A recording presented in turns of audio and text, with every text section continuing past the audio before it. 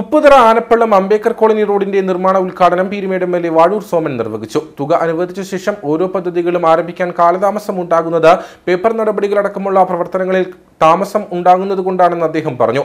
പട്ടികജാതി വികസന വകുപ്പ് അനുവദിച്ച ഒരു കോടി രൂപ വിനിയോഗിച്ചാണ് റോഡ് നിർമ്മിക്കുന്നത്.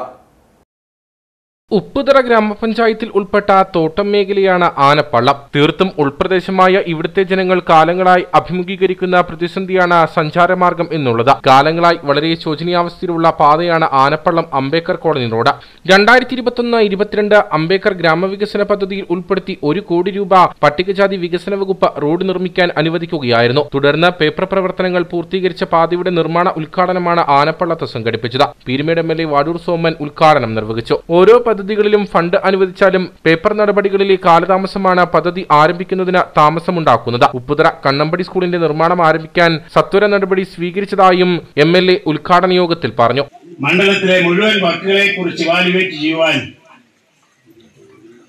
P W secretary Shri K Biju I S chief engineer deputy chief engineer executive എഞ്ചിനീയർമാര് assistant executive എഞ്ചിനീയർമാർ എഞ്ചിനീയർമാർ വരെ മുഴുവൻ ഉദ്യോഗസ്ഥരെയും തിരുവനന്തപുരത്ത് മിനിഞ്ഞാന്ന് നാല് മണിക്ക് നിയമസഭ നടന്നുകൊണ്ടിരിക്കെ തന്നെ അറുന്നൂറ്റി പത്താം നമ്പർ ഹാളിൽ വിളിച്ചു വരുത്തി നിർദ്ദേശങ്ങൾ പറഞ്ഞ് അവിടെ കർശനമായ നിർദ്ദേശം കൊടുത്ത് കണ്ണമ്പടി സ്കൂളിന്റെ വഴി ആരംഭിക്കുക.